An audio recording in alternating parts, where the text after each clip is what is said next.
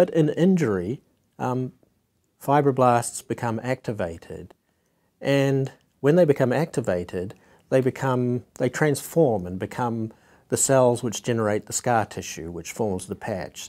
So when you have a heart attack, for, exa for example, um, you will lose some of that heart muscle and it'll be replaced by new tissue that is generated by these scar-forming cells, these, these fibroblasts. So it's good you're getting a patch to repair the heart in the same way that if you cut yourself, you'll form a scar on the skin. The heart does a similar thing, but the problem is that the scar doesn't contract, and so it can't actively contribute to the, the blood pumping um, function of the heart.